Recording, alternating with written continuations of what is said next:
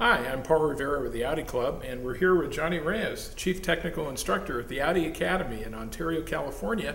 And Johnny's going to take us to the brand new A4 and show us some of the great new features and technology of this amazing car. One of the new things with the V6, uh, it's still a 3.2. One of the newest things we have out is the variable cam timing. Um, this is a camshaft, and you can see here it's not only just variable cam timing, but it's also variable lift. You can see here there are two different profiles of, of uh, cam lobes. Uh, when you start out from idle up to about 4,000 RPM, it's on the small lobe. Once you go over 4,000 RPM, it switches to the larger lobe. The larger lobe, more duration, more air, more power um, at top end. So, and then when you come back to idle, you have um, smaller lobe, less duration for better idle characteristics. Yeah. So this is this technology shared on any other Audi product? Um, yes, it is actually with the B8. Um, there's another engine we have. It's the the four cylinder, which is on that uh, rack over there, but it's on the exhaust side. They're using it here on this engine. We're using it on the intake side. On that engine, we're using it on the exhaust side to help control emissions, help control turbo boost, um, torque. So here, another feature of this camshaft is that the lobes are staggered. They're not exactly in the same location. You can see here one starts here, one starts over here. One is actually larger than the other. By doing this, they're actually able to start this um, uh, tumble effect. They call that, uh, you know, um, on previous engines there was an intake uh, flap that created the tumble. Now they can do it with the camshaft. So this gets the air stirred up as it's being drawn into the engine. And when they inject the fuel, it actually starts to mix with the fuel and air, gets a really good atomization. So you have lower, um, you have lower emissions, better combustion, um, more power out of it. So you know, a lot of benefits to doing that. Well, this solenoid, solenoid. if you look, it's located right here. Yeah. Okay, there are two oh, per cylinder. Yeah.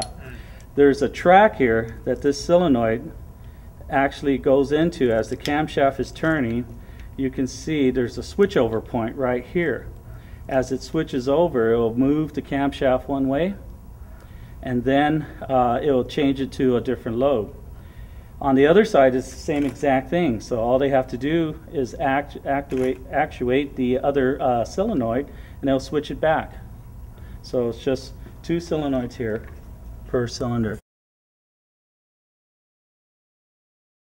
Johnny, tell us about the active suspension. Uh, here's the solenoid, right? Okay. That uh, on the base of the shock. Mm -hmm. There's also uh, each corner has one, right? There's also a level sensor here Which that's uh, the input. so this suspension. is like a potentiometer that's being, yes. or a digital encoder.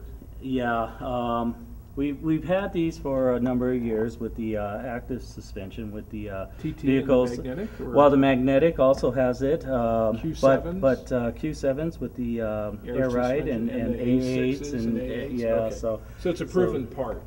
It's a proven part, yes. And uh, it's been yeah we've had these for quite some time. But this is what gives the feed the feedback to the control module to um, adjust the dampener here mm -hmm. and and it's on a real-time basis, isn't it? Because it's getting direct road input. So this gives the feedback For the Electric. suspension? for the suspension electrically, Shows the level. shows the level. And then this is the solenoid here, which is actually controlling the damping amount, the variable damping. Wow. So, yeah, it's pretty simple. Um, independently controlled, right? There's there All is a four control wheels module, have all their four wheels, yeah.